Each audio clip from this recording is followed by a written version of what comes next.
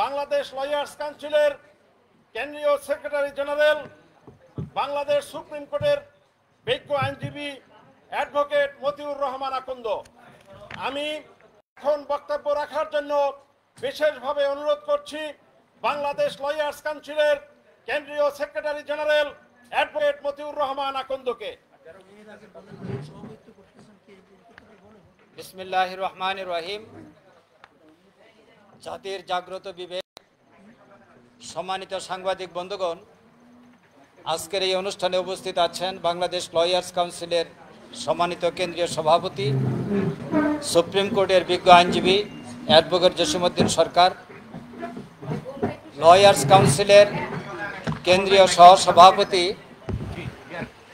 জনাব advocate doctor গোলাম রহমান, আরও উপস্থিত আছেন সুপ্রিম কোর্টের আপিল বিভাগের সম্মানিত লয়ার, সহসভাপতি সহ অন্যান্য নেতৃবৃন্দ, যুগ্ম সম্পাদক advocate Abdur Razzak, S M Kamal Uddin সহ নেতৃবৃন্দ, অন্যান্য অভিজ্ঞ আইনজীবী বন্ধুগণ, প্রিয় সাংবাদিক ভাইরা, আসসালামু আলাইকুম রহমতুল্লাহ বারাকাত আমরা আমাদের মূল বক্তব্য শুরু করছি। দেশের এক কঠিন পরিস্থিতিতে আমরা আইনজীবীদের পক্ষ থেকে আপনাদের সামনে উপস্থিত হয়েছি। আপনারা অবশ্যই অবগত আছেন, গত কিছুদিন যাবৎ নিম্ন আদালতে রাজনৈতিক মামলাসমূহ তড়িঘড়ি করে রায় প্রদান করে বিচার ব্যবস্থাকে প্রশ্নবিদ্ধ করা হয়েছে। গত দুই মাসে প্রায় অর্ধ শতাধিক মামলায় দেড় হাজারেরও বেশি লোককে শাস্তি প্রদান করা হয়েছে। আজকেও একটি মামলায় প্রায় সত্তর জনেরও বেশি লোককে সাজা প্রদান করা হয়েছে। মামলা নিষ্পত্তি করতে গিয়ে ক্রিমিনাল জাস্টিস সিস্টেম ফৌজদারি কার্যবিধি সুস্পষ্টভাবে লঙ্ঘন করা হচ্ছে। কোনো কোনো মামলায় রাত নয়টা পর্যন্ত সাক্ষ্য গ্রহণ করা হয়েছে। আসামির অনুপস্থিতিতে সাক্ষ্য নেওয়া, এমনকি ছয় কার্য দিবসে চার্জ গঠন, সাক্ষী গ্রহণ, যুক্তিতর্ক উপস্থাপন, তিনশো বিয়াল্লিশ অতবর মামলার রায় ঘোষণার কার্যক্রম সম্পন্ন করা হয়েছে, যা দেশের বিচার বিভাগের ইতিহাসে এক নজিরবিহীন ঘটনা। আমরা দেশের বিচার বিভাগের ইতিহাসে এমন তড়িঘড়ি করে কোনো মামলায় নিষ্পত্তি করে সেই মামলায় শাস্তি প্রদানের ঘটনা এর আগে প্রত্যক্ষ করিনি, যা গত দুই মাস যাবৎ গোটা জাতি প্রত্যক্ষ করছে। রাজনৈতিক ঘটনাসমূহ রাজনৈতিকভাবে সমাধান না করে আদালতে টেনে নেওয়া হচ্ছে। রাজনৈতিক নেতৃবৃন্দকে ক্রিমিনাল মামলা আসামি সাজিয়ে বিচারের নামে তাদেরকে অপমান, অপদস্থ করা হচ্ছে। দেশের সর্বোচ্চ আদালত থেকে জামিন পাওয়ার পরও জাতীয় নেতৃবৃন্দকে মাসের পর মাস কারাগারে আটক রাখা হয়েছে। আপনারা জানেন, আমরা একাধিকবার সাংবাদিক সম্মেলনের মাধ্যমে বলেছি, হাইকোর্ট থেকে যখন জামিন দেওয়া হয়, আমাদের এই জামিনের, জামিনপ্রাপ্ত ব্যক্তির বিরুদ্ধে দ্রুত চেম্বার জজে যাওয়া হয়। এবং সেখানে গিয়ে মামলা স্টে করা হয়। এরপরে আপিল বিভাগ আপিল বিভাগ দীর্ঘদিন পর যখন সেই মামলার আদেশটি বহাল রাখেন, নিষ্পত্তি করেন, তখন আবারও একটি নতুন মামলা দিয়ে আমাদের নেতৃবৃন্দকে, বিরোধী দলের নেতৃবৃন্দকে কারাগারে আটক রাখা হচ্ছে। এই খেলাই চলছে গত পনেরো বছর যাবৎ।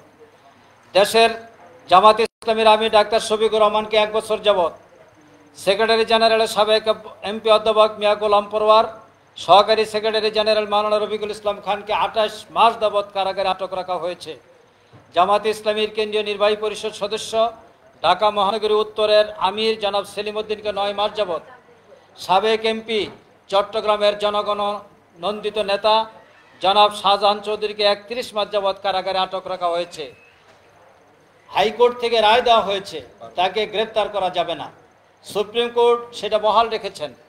এই আদেশ চট্টগ্রামে যাওয়ার পরেও শাহজাহান চৌধুরীকে হাট হাজারের একটি মামলায় পুনরায় গ্রেপ্তার দেখিয়ে কারাগারে প্রেরণ করা হয়েছে।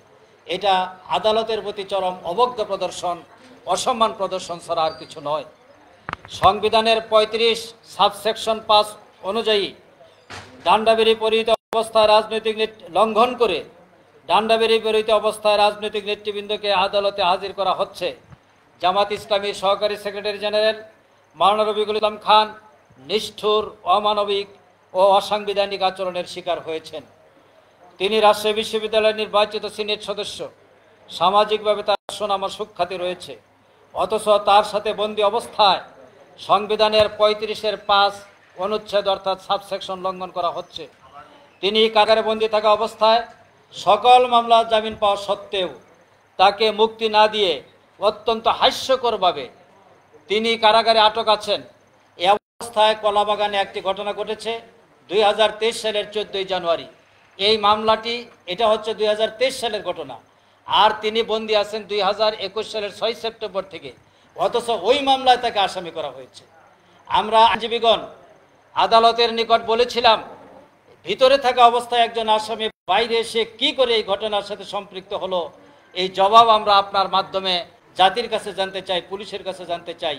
আদালত আমার কথা, আমাদের কথা আমলে নেননি, ওনাকে গ্রেপ্তার দেখিয়েছেন বিচার বিভাগের ইতিহাসে এটা একটি কলঙ্কজনক ঘটনা। আসামি ভিতরে, অথচ বাইরের ঘটনা তাকে আসামি করা হচ্ছে। প্রিয় সাংবাদিক বন্ধুগণ, একটি দেশের শান্তি, স্থিতিশীলতা, অগ্রগতি, সমৃদ্ধির জন্য রাজনৈতিক স্থিতিশীলতা অপরিহার্য। সেই সাথে বিচার বিভাগের স্বাধীনতাও নিশ্চিত হওয়া প্রয়োজন।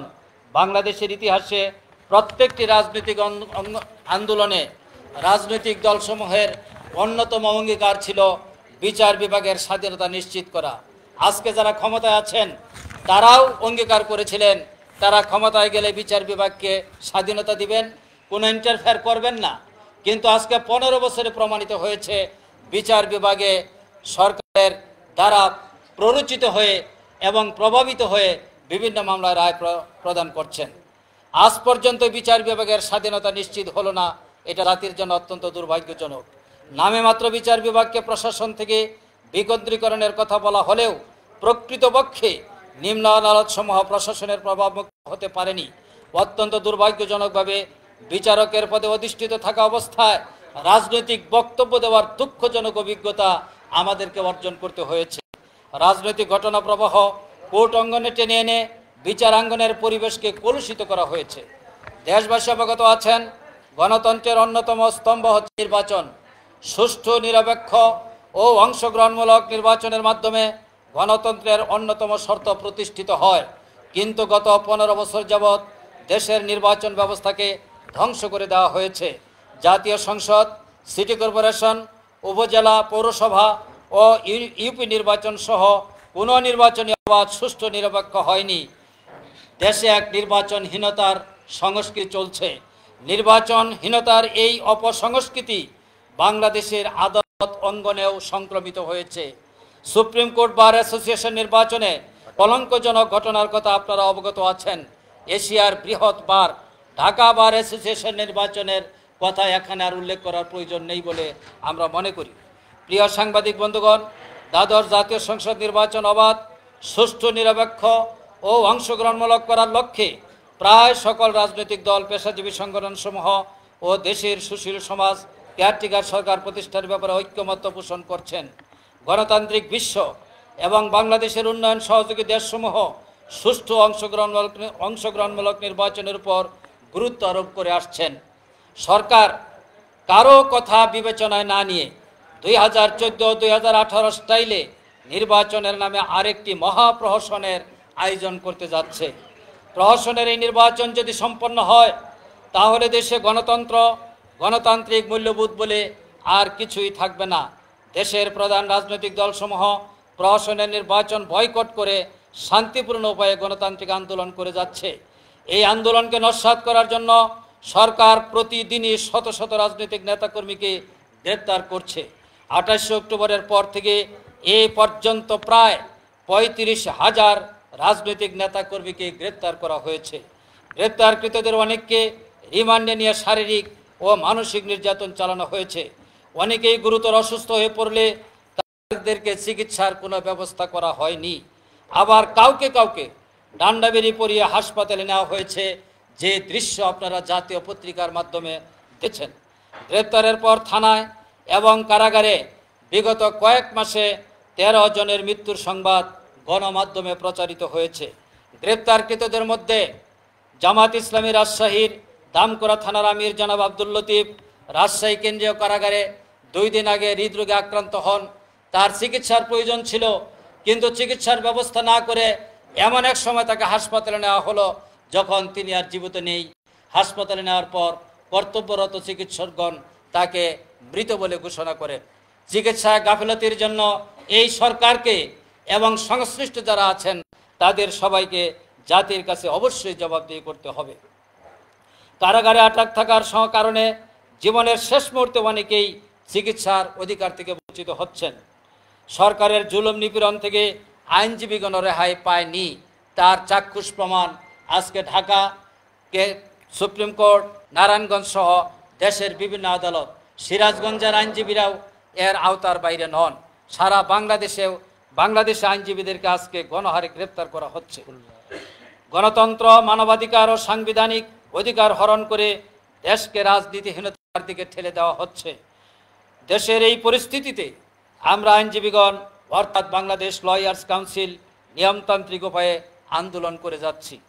তারই অংশ হিসেবে আন্দোলনের ধারাবাহিকতায় এক জানুয়ারি থেকে সাত জানুয়ারি পর্যন্ত আমরা দেশব্যাপী আদালত বর্জন কর্মসূচি ঘোষণা করছি। দেশের সকল বারের বিজ্ঞ আইনজীবী ভাই বোনদেরকে আদালত বর্জন কর্মসূচি শান্তিপূর্ণভাবে সফল করার জন্য বাংলাদেশ লয়ার্স কাউন্সিলের পক্ষ থেকে আমরা উদাত্ত আহ্বান জানাচ্ছি।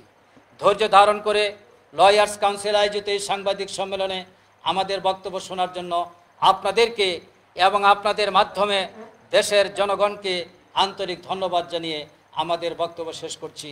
আমাদের আন্দোলন সফল হবে। জনগণ তাদের এই স্বৈরাচারের কবল থেকে মুক্তি পাবে, গণতন্ত্র পুনরুদ্ধার হবে এবং মানুষের ন্যায্য ভোটাধিকার প্রতিষ্ঠিত হবে ইনশাল্লাহ আল্লাহ আমাদের সহায় হন। আল্লাহ হাফেজ। বাংলাদেশ জিন্দাবাদ। বাংলাদেশ লয়ার্স কাউন্সিল জিন্দাবাদ। আসসালামু আলাইকুম ওরহমতুল্লাহি ওবরাকাত আমাদের সম্মানিত সভাপতি আছেন। তিনি দু মিনিট ওনার পরিস্থিতির উপরে বক্তব্য রাখার পরে আমাদের কার্যক্রম শেষ হবে। আপনাদের প্রশ্ন থাকে, পরে আমরা উত্তর দেব।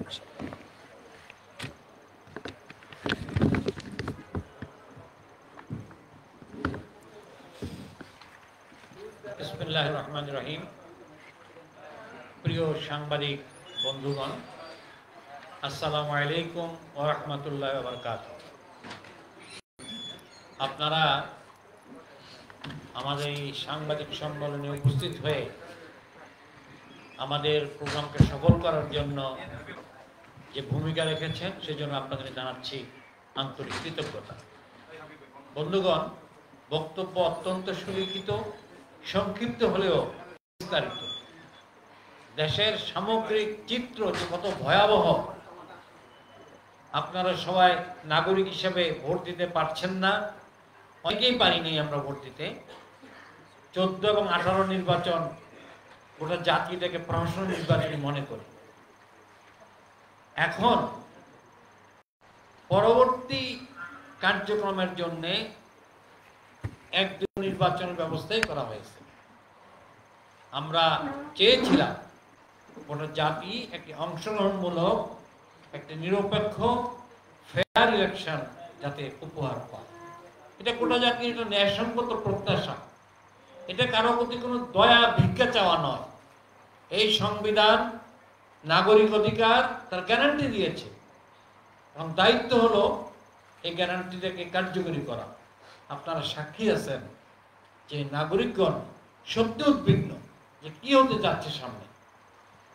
মানুষের জীবনের কোনো নিরাপত্তা নেই গুণ খুমের ঘটনা অহরহই ঘটছে, অর্থনৈতিক অঙ্গন তো আজকে বিপর্যস্ত। আইন শৃঙ্খলা বিপর্যস্ত।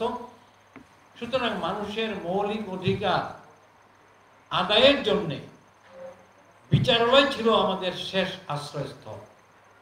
একটা মানুষ যখন কোনো তার অধিকার থেকে বঞ্চিত হয়, তার বাণিজ্যতের অধিকার, সম্পদের অধিকার, নিরাপত্তার অধিকার, অর্থনৈতিক অধিকার, শেষ আশাবড় স্থল হচ্ছে কোর্ট অঙ্গন আজকে দুর্ভাগ্যজনক যে চিত্র লয়ার্স কাউন্সিলের সেক্রেটারি জেনারেল আপনাদের সামনে উপস্থাপন করলেন, আমরা হতাশ হতো।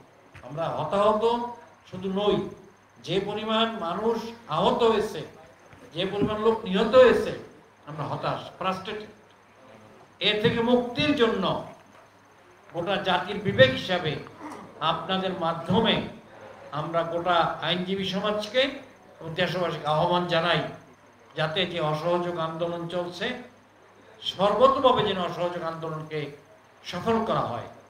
আমরা দৃঢ়ভাবে বিশ্বাস করি, জনগণ এবং আইনজীবী বন্ধুগণ আমাদের সাথে আছেন। কোনো প্রকার উস্কানিমূলক কাজে পা দেয়া যাবে না। আমরা আজীবন শান্তিমূলক কর্মসূচি বিশ্বাস করি এবং এই বিবেচনা জনগণের শান্তিপূর্ণ আন্দোলন সবসময় বিজয়ের লক্ষ্যে পৌঁছে। এটি ইতিহাসের রায়। মানুষ মজলুম হলেও কিন্তু সর্বশেষে জুলুমের পরিশক্তি ঘটে। আমরা এই জাতির গণতন্ত্র পুনরুদ্ধার, উদ্ধার, মানবাধিকার পুনঃপ্রতিষ্ঠা, বিচার ও ন্যায় বিচার নিশ্চিত করার জন্য, চলমান আন্দোলনকে সফল করার জন্য আইনজীবী বন্ধুদেরকে ঘোষিত কর্মসূচি পালনের উদ্যত্ত আহ্বান জানিয়ে এবং আপনাদেরকে অন্তর অন্তঃস্থল থেকে ধন্যবাদ জ্ঞাপন করে আমার বক্তব্য এখানে শেষ করছি। আল্লাহ হাফেজ। বাংলাদেশ লয়ার্স কাউন্সিল জিন্দাবাদ সাংবাদিক বন্ধুগণ আমাদের সাংবাদিক সম্মেলনের কার্যক্রম এখানে শেষ। আপনাদের সবাইকে আবারও ধন্যবাদ?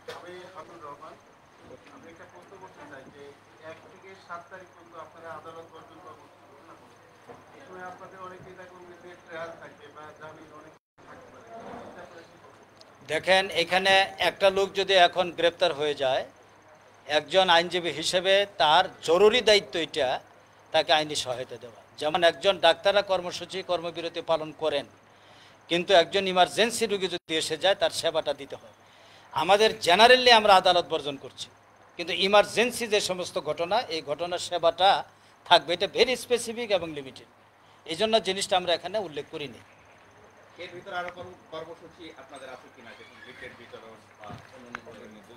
এটা আমাদের আইনজীবী হিসেবে প্রফেশনাল অর্গানাইজেশনের পক্ষ থেকে আমরা যে কর্মসূচিটি দিয়েছি এটাই আপাতত আমাদের চলবে। এর সমর্থনে আমাদের প্রচার রনা যেটা সেটা লয়ার্স সেটা চালু থাকবে সেটা অব্যাহত থাকবে। সরকার সমর্থকরা বলছে যে আইনজীবীরা আদালত বর্জন কর্মসূচি দিতে পারে না। এটা আপনার বক্তব্য। দেখেন পৃথিবীর অনেক কিছুই হওয়া উচিত ছিল না। মানুষ হত্যা কি যায় সরকারের কোনো আইনে কি এটা অ্যালাউড এটা হচ্ছে কেন? ভোটের অধিকার, এটা মানুষের সবচেয়ে বড় একটা অধিকার। এই অধিকার কি আজকে আছে? আমার অধিকার আদায়ের জন্য যে কোনো বৈধ আন্দোলন আমরা করতে পারি। একজন লয়ার, তিনি কোর্টে যাচ্ছেন, এমনিই তো আমরা আইনি সেবা দিতে পারছি না। বিচারকরা আমাদেরকে পর্যাপ্ত সময় দিচ্ছে না, জেরা করার সুযোগ পাচ্ছেন না আর্গুমেন্টের সুযোগ পাচ্ছেন না। সাক্ষীদেরকে ডেকে এনে সাক্ষী নিয়ে